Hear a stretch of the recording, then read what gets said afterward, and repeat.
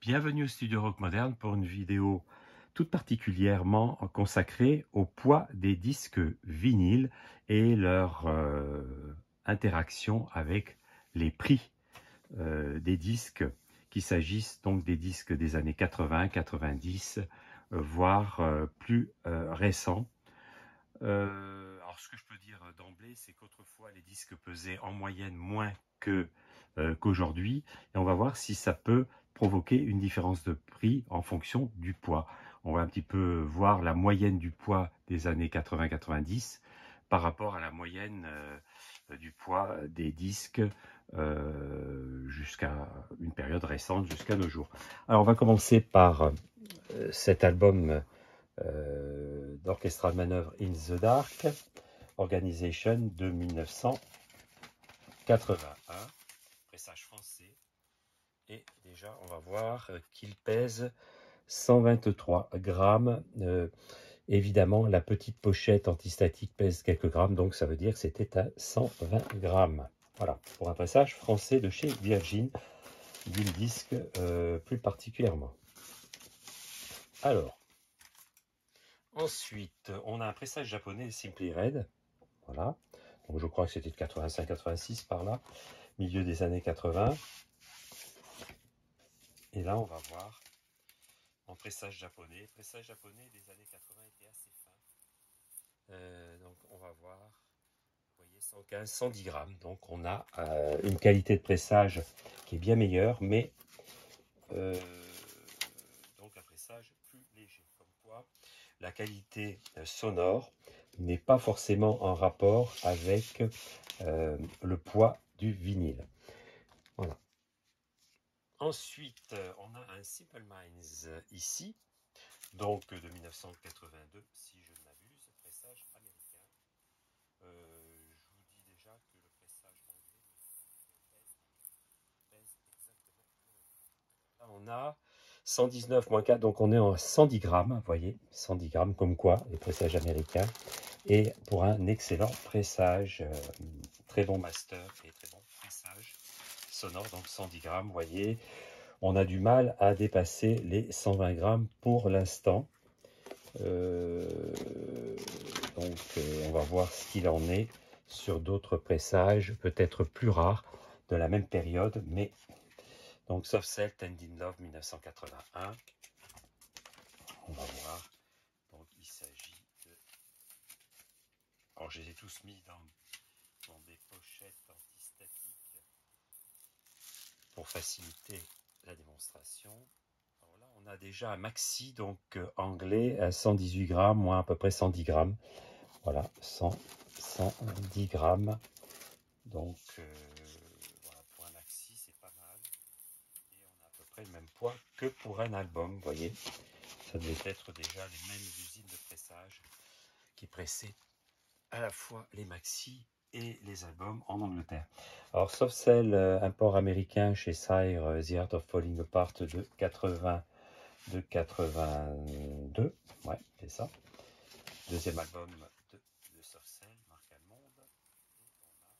Et on a un américain, mais qui est beaucoup plus lourd. On a déjà 145 moins 5, donc 140 grammes, vous voyez. 140 grammes. Donc là, on atteint maintenant 140 grammes pour un prix, pour un prix quand même euh, à l'époque en apport, euh, voyez, de 73 francs. 73 francs, ce qui était pas mal, puisque vous multipliez par 3, 3 fois 7, 21, 3 fois... Euh, ça fait donc... ah oui, ça faisait déjà pas mal, hein. ça fait déjà 200 euros de maintenant, à peu près, en valeur, voyez. Euh, ensuite, toujours marque allemande de, euh, l'été 1983. Euh, marque allemande d'Edmond basse, la carte chez, je sais plus, chez Somme Bizarre. Celle était chez Somme Bizarre. On a un disque. Alors, j'avais sectionné parce que celui-ci était particulièrement lourd. On a 154 grammes, donc il fait pour un maxi anglais, il fait 150 grammes, vous voyez, donc plus lourd que les albums. Voilà. Alors, ensuite, ensuite, ensuite, on continue. on a aussi un maxi 45 tours du groupe belge Belgen et c'est du Vogue euh, Belgique. Et donc il s'agissait d'un pressage de 1985, Lena. Et donc, donc je vais le sortir dans sa sous-pochette, ce sera pour le pouvoir le peser. De, de remettre le disque dans une sous-pochette. C'était un, un, maxi particulièrement lourd à l'époque. Et vous voyez, on a 158 grammes, un peu plus que 150 grammes pour un maxi. Mais ça faisait partie des maxi particulièrement épais pour l'époque. Toujours, on est dans les années 80. Ensuite, The Dice, groupe français avec le fameux Leonard Dice de 1981, donc chez CBS. Euh, et on a, on a pressage français. Et on a donc un euh, Vous voyez, voilà, 119 grammes, ça fait 110 grammes. Voilà, maxi devaient faire à peu près 110 grammes. Je me suis aperçu en pesant les disques qu'on n'avait jamais la même mesure d'un disque à l'autre. Voilà, à 5 ou 10 grammes près. Ensuite, The Dance, euh, groupe, euh, je pense, anglais ou américain. Oui, anglais. Euh, donc, The Dance chez Static Records, qui ça vient du, du Virgin Megastore, d'Oxford Street à Londres. Et ce disque était particulièrement épais pour l'époque. Donc, étant épais pour l'époque, on avait 164 grammes, c'est-à-dire il fait 160 grammes. Donc vous voyez, c'est un maxi de Static Records qui bat les records euh, du, poids, euh, du poids des albums ou des maxi de l'époque. Ensuite, on passe aux années 90. Aux années 90, avant de passer aux années 90, j'avais acheté un euro euh, ce Dr Zivago qui est un original des années 60 et je vais vous montrer combien pèse ce disque des années 60 donc 157 grammes, 150 grammes, vous voyez, c'est quand même un petit peu plus épais. Il me semblait d'ailleurs que les euh, disques des années 60 étaient plus épais que ceux des années 70, puisque à l'époque des, des, années 70, il y a eu la crise de l'énergie, la crise du pétrole, et on a voulu économiser sur le pétrole et donc sur le PVC, matière première des disques vinyles. Rise and Fall of a euh, Decade premier album d'un groupe français euh, très synth pop à l'époque, euh, que je vous présenterai d'ailleurs dans une prochaine vidéo. Et donc l'album est de 1990 chez New Rose, je crois. Oui, c'était New Rose qui distribuait ça à l'époque. Et on a donc du 141 grammes. On monte un petit peu on sort des 110, 120 grammes pour les albums, on arrive à, 135, 140 grammes, c'est très bien. Ensuite, on a un pressage ancien.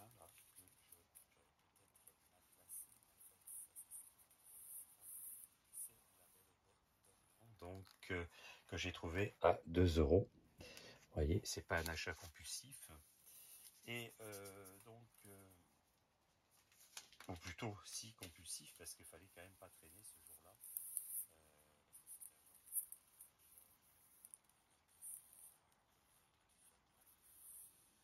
Voilà, donc chez un disquaire indépendant d'Avignon.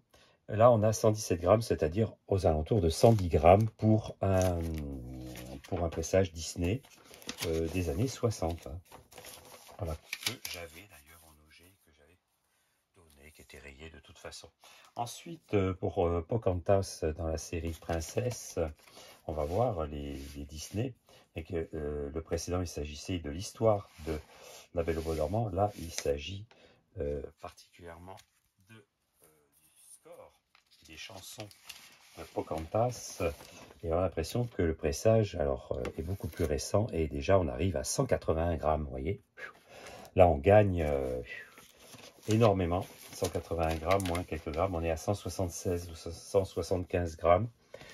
Euh, ensuite, celui-ci sur Tarzan, toujours pareil, Disney. On est à, on va voir, on va voir pressage de l'année dernière. Donc, euh, on va voir si on bat les records. Non, on est à plus bas, on est à 170, on est à 5 grammes de moins. Voilà. Euh, environ, environ 170 grammes. Ensuite, euh, le dernier album de Jessie Ware, que je vous présenterai d'ailleurs, euh, That's Feel Good, Très, très excellent, excellent, excellent euh, disque. Et on a un, très bon pressage. On va voir On est à 190 grammes, 185 grammes, vous voyez, pour un album donc de cette année. 180 grammes. Ensuite, celui-ci aussi, le dernier de Portraits, qui est un excellent album que je vous présenterai également dans une vidéo euh, un petit peu plus anciens. Alors, euh, on a 100, vous voyez, 145, donc moins 5, 140 grammes là-dessus. Mais tous, ce sont d'excellents pressages. Je n'ai pas trouvé de différence entre tous ces, tous ces pressages que je vous ai présentés. J'ai trouvé aucune euh, Ensuite, le dernier de Freya Readings euh, sur le site de l'artiste. Euh, très bon pressage également. Édition limitée évidemment signée. Donc on est à 168, 160 et quelques grammes. Voyez voilà, donc on se situe quand même au-dessus des 150 grammes. Ensuite, un autre, autre nouveauté, euh, Dead Club City euh, Nothing But Zeiss avec, on va voir un petit peu ceci, c'est tout des excellents pressages. Hein. on, baisse, on est à 140, 147 grammes je pense, euh, donc on baisse de, voilà, on baisse de, de poids en poids. Ensuite, un, un achat euh, de, solde, de liquidation de stock. Voilà, donc de ce groupe dont je vous parlerai par la suite.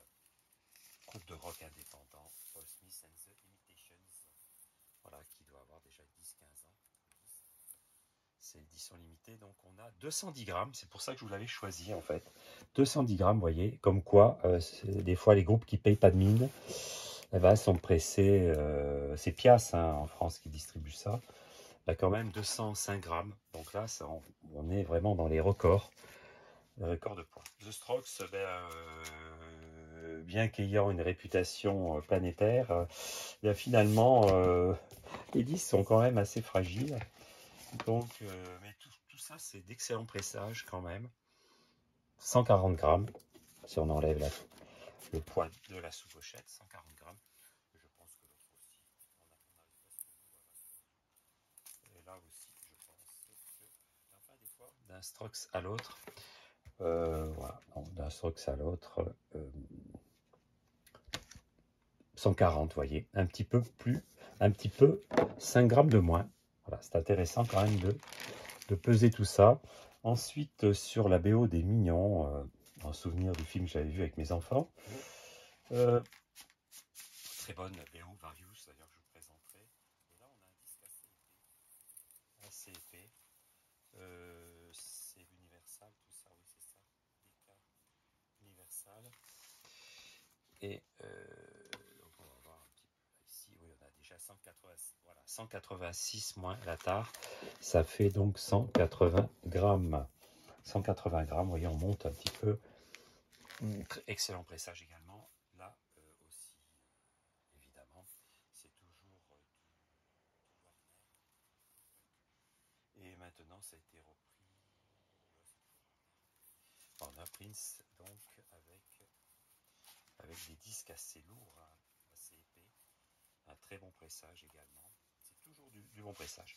Alors c'est vrai que j'ai vu, j'ai remarqué, je vous montrerai sur un disque, une différence de, volume euh, sur les 140, entre les 140 grammes et les 180 et 200 grammes. J'ai trouvé une petite différence euh, au niveau du volume 188. Donc on a beaucoup de, de pressages en fait qu'on croit être des, euh, des 200 grammes, en fait, qui sont que 180, voire un tout petit peu plus ou un petit peu moins. Voilà.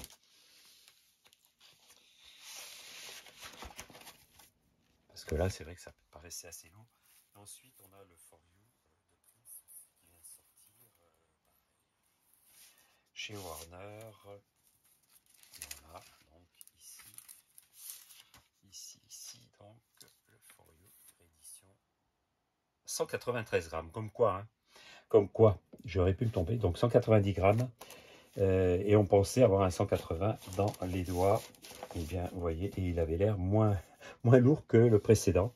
Donc il faut, vraiment peser. Il ne faut pas se fier euh, aux apparences. Euh, celui-ci, donc, comme Get Wide. alors, l'album, voilà, comme de Prince. Ça aussi, je vous présenterai tout ça. Je ferai des vidéos spéciales. Il va y avoir pas mal de choses qui vont sortir. Là, 180 grammes, vous voyez, on est un petit peu en dessous. Alors, je pense qu'il il peut y avoir une différence de 15 grammes, en fait, selon les pressages sur la, même référence. Je pense que ça peut aller jusqu'à 10 grammes de différence.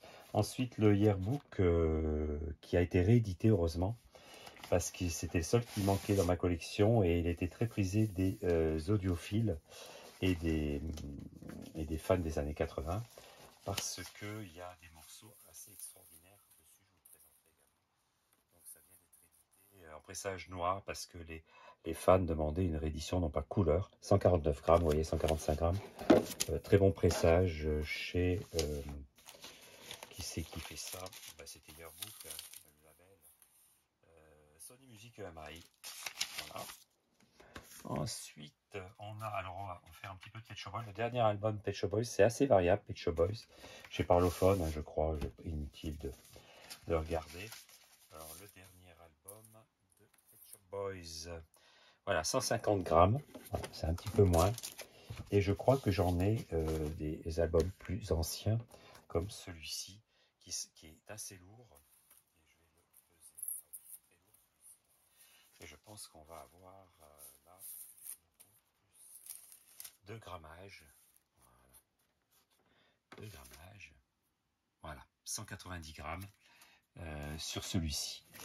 Vous voyez, c'est assez aléatoire hein, quand même. Euh, en les pesant, je me suis amusé parce que j'ai vu vraiment qu'il y avait un éventail. Ça, c'est les Maxi Pet Shop Boys, des Maxi actuels. C'est. Donc, on va voir ce que ça donne. D'ailleurs, je vous ferai une vidéo dernière partie discographique de, de Pet Shop Boys 2010 euh, à nos jours.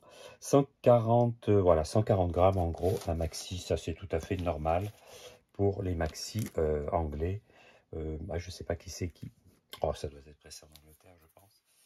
ensuite, alors le dernier album réédité de, des années 90, de 1990, donc de Jamie Somerville, avec j'allais dire Universal, je sais plus, c'est BMG Universal. je vous le dirai à l'époque euh, quand, euh, quand, je vous présenterai le disque. Alors celui-ci, voilà, j'ai eu une, différence de, hauteur de volume. Voilà, il fait 150 grammes avec le Marc Allemande qui suit, qui est également une réédition euh, d'un disque aussi des années 90, je crois 96, voilà, Fantastic Star. Et euh, là, euh, on a un album qui est, euh, qui est beaucoup plus lourd, mais qui sonne beaucoup mieux que le précédent de Jimmy Somerville du groupe Communard Zebronsky Voilà, donc au lieu de 140, on a 170 grammes, on a quand même presque 30 grammes de plus, et le son est beaucoup plus fort. J'ai pu faire la, la, différence que le Jimmy Somerville, donc c'est assez intéressant. Ensuite, Human League, euh, pour finir, on a presque fini. On a euh, Human League, donc la réédition euh, de, chez Demon Records qui réédite pas mal. Chose intéressante, on a Speed Mastering. Alors on va voir, donc ça se veut une qualité excellent pressage d'ailleurs. voilà, presque 200 grammes, vous voyez, 190 grammes, presque 200 grammes. Euh, intéressant quand même cette vidéo que je vous fais sur les... Et ensuite, on a du Chris Cossé, trois rééditions. Euh, on a donc... Euh, voilà. On a donc... ça c'est... Oui, Pagan Tango, voilà, c'est ça. c'est 1990, ça. Et c'est réédité chez... CTI, c'est le label de Chris Cossé. a ah, on a quand même du 150 grammes. 150 grammes, on va voir si les trois autres sont pareils, sont de, du même acabit ou pas. Euh,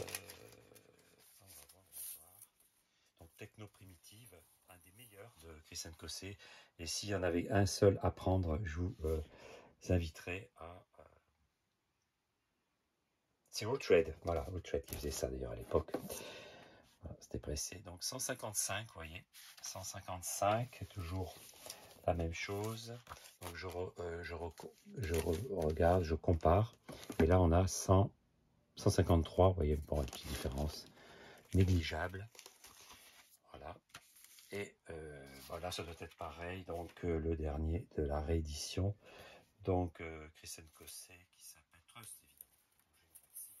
Je vous avais présenté quand même certains disques. Il a l'air un petit peu plus épais celui-ci en main, mais peut-être je me trompe. Hein. Oui. À 156, oui, 150, quelques grammes de plus, voilà. Voilà ce que je pouvais vous dire. Donc, euh, alors un petit point sur le, prix des, disques. Alors, en, comparaison du poids, ça coûte donc plus cher. Hein. Ensuite, euh, il y a beaucoup, beaucoup, beaucoup d'albums qui sortent en gatefold. Plus de la moitié sortent en gatefold, contre 10% dans les années 80. On n'avait que 10% des albums qui sortaient, voire 5% euh, des albums qui sortaient en gatefold. Et à ce moment-là, quand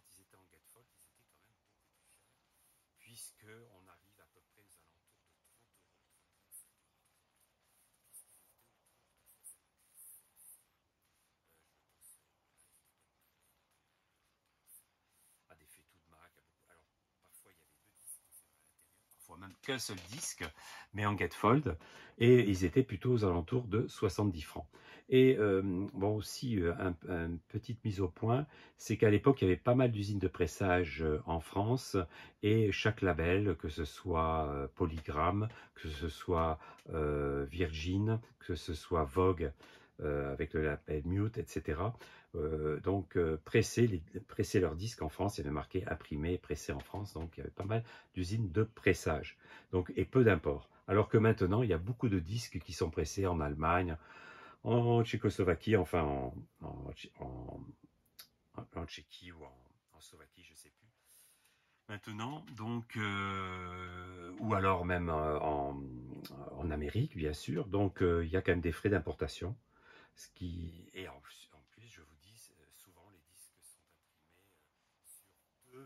de disques en gatefold, donc euh, et alors avec un poids supérieur, ce qui fait qu'on a quand même une qualité, une qualité euh, picturale ou graphique, d'artwork, etc. bien supérieure.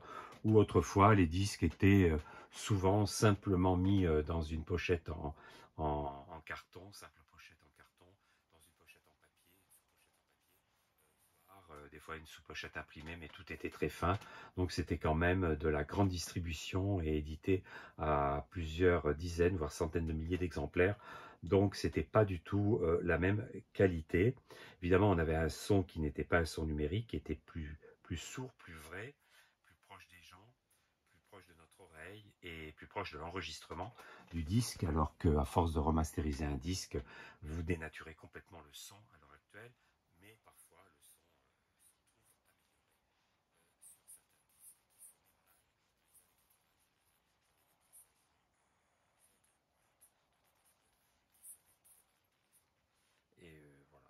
même des pressages anglais euh, de chez nous, de l'époque, qui n'est pas si bien que ça. Et maintenant, il y a eu quand même,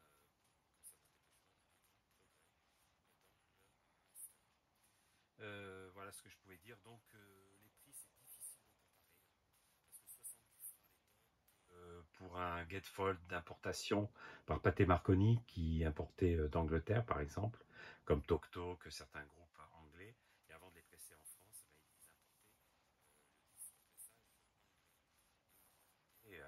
entre 70 et 80 francs à l'époque. Vous multipliez par 3, 3 fois 24, ça fait 240 francs et vous arrivez facilement à une trentaine, euh, quarantaine d'euros euh, d'aujourd'hui. Voyez Donc, il faut comparer ce qui est comparable. À mon avis, en raison de la qualité des importations, de la qualité des vinyles couleurs euh, plus, plus travaillés, plus recherchés, etc., on arrive en rapport qualité-prix à exactement même prix que dans les années 80 années 80, si on, prend en compte le poids, euh, les nombreux gatefold, les versions splatter, les versions euh, limitées, les artworks, etc., etc. Et puis aussi le fait que ce soit des disques d'importation. Il faut comparer ce qui est comparable. En France, si on compare les prix, il faut, comparer les prix des imports à l'époque et des imports de maintenant. Bon, si on compare les prix de la MPO, c'est quand même pas donné. Alors là, c'est différent, on n'a plus que la MPO. maintenant, il faudrait comparer le prix des pressages français avec ceux de la MPO. Voilà. Alors c'est vrai que la MPO, euh, c'est quand même beaucoup plus cher que les disques à l'époque, euh, par exemple. Alors vous voyez, tout ça, c'est bien compliqué. Euh, une vidéo de mise au point là-dessus. Ensuite, un petit coucou à Monsieur Vinil qui semble nommer à parler de ma chaîne et certainement des achats compulsifs. En fait, quand j'achète un disque, je vais sur 10 sites différents pour prendre là où il est moins cher. Et euh, notamment, je vous ai montré quand même pas mal de disques. Ce sont des disques exceptionnels et euh, que euh, je ne regrette pas d'avoir acheté et que de toute façon, je voudrais acheter. Et pour vous les montrer, et ce qui justifie un peu l'existence de ma chaîne, c'est vous montrer des nouveautés, euh, pas de se cantonner à des vieux pressages des années 80, qu'à des vieux pressages, parce que je vous en montre aussi en, pressage allemand, anglais ou d'Angleterre, d'Allemagne ou du Japon. Voilà. Donc il n'y a rien du tout de compulsif. C'est vrai que par le passé, peut-être il y a quelques années, j'ai fait des, achats peut-être compulsifs de, de, de groupes euh, indépendants en achetant à la FNAC. Là, il s'agit que du, du commerce en ligne, puisqu'il n'y a pratiquement rien dans les FNAC ou les Cultura.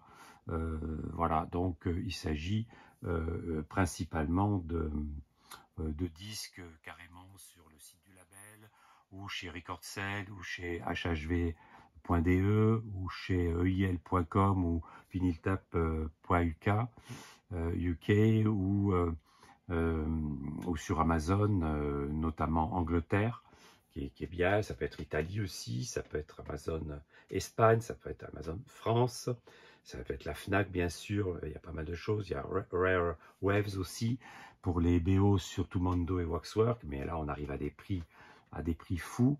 Alors, euh, moi, je vous ai pas parlé encore des pressages Mondo, tout ça, parce que là, il s'agit carrément de disques qui sont très chers et qui... Euh, mais c'est pareil, hein. on a à peu près, je les avais pesés, on a entre 140 grammes chez Mondo et Waxwork entre 140 grammes et 140 Par exemple, pour le Barbie, Barbie chez Waxwork, euh, non, celui-là, il n'est pas chez Waxwork. Ça, c'est un Barbie qui est de la FNAC. Euh, là, on a du à peu près, vous voyez, la tare, ça enregistre automatiquement. Voilà. Là, on a à peu près voilà, 150 grammes. 150 grammes pour euh, le Barbie et euh, on va voir pour euh, de chez Mondo. Euh, par exemple, pour un waxwork, pour un waxwork, comme par exemple celui-ci, donc Hit chez Waxwork, vous allez voir tout de suite, vous allez être étonné. Celui-ci est 180 grammes, mais quand il s'agit de pressage Mondo, vous allez voir, ou Death Watts, donc